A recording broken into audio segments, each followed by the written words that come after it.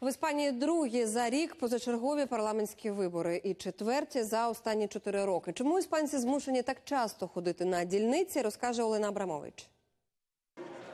Роздратованість і безнадія. Іспанці не так давно у квітні уже приходили на виборчі дільниці голосувати за ту чи іншу партію національного парламенту. Та результат був таким різнорідним, що дійти згоди та сформувати уряд за півроку партіям не вдалося. Тому прем'єр Педро Санчес, який встиг за цей час піти у відставку і повернутися на посаду, оголосив перевибори. Я роздратована, бо це ненормально, неправильно те, що вони не можуть домовитися. Якщо немає абсолютної більшості, вони могли б піти на зустріч один одному, щоб підняти країну. Не вірю, що перевибори допоможуть.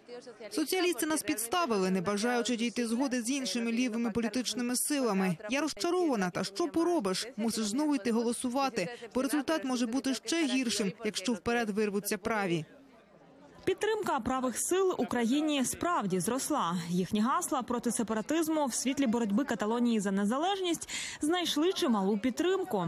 Якщо раніше присутність правих у іспанському парламенті була не такою значною, то після цих виборів вони можуть зайняти третє місце, показують опитування. Сьогодні кожен іспанець захищає національний суверенітет, і ми, користуючись нагодою, демонструємо бажання залишити країну єдною, щоб іспанці продовжували визначати своє майбутнє, змогли подолати розбіжності, голосуючи вільно і демократично. Прем'єр Педро Санчес, оголошуючи дострокові вибори, сподівався посилити свою соціалістичну партію. Проте, якщо вірити опитуванням, його політична сила навпаки втратила підтримку.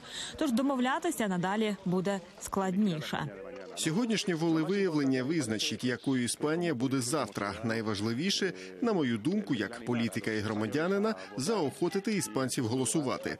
По-друге, посилити нашою підтримкою іспанську демократію. Ускладнює ситуацію розкол серед каталонців. 44% підтримують незалежність регіону, а 48,3% навпаки воліють залишитись у складі Іспанії.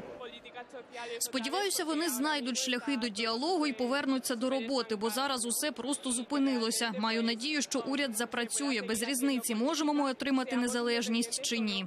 Ми представляємо 17% населення, а економічно понад 20% ВВП, як я знаю. Тому вони повинні до нас дослухатися. Тим часом борці за незалежність Каталонії в переддень виборів знову влаштували демонстрації, вимагали скасувати вироки для каталонських лідерів. Верховний суд Іспанії засудив у жовтні дев'ятьох політиків на терміни від 9 до 13 років ув'язнення. Щоб вибори відбулися спокійно, Мадрид відрядив у регіон 2,5 тисячі поліцейських. Олена Абрамович, подробиці Європейське бюро телеканалу Інтер.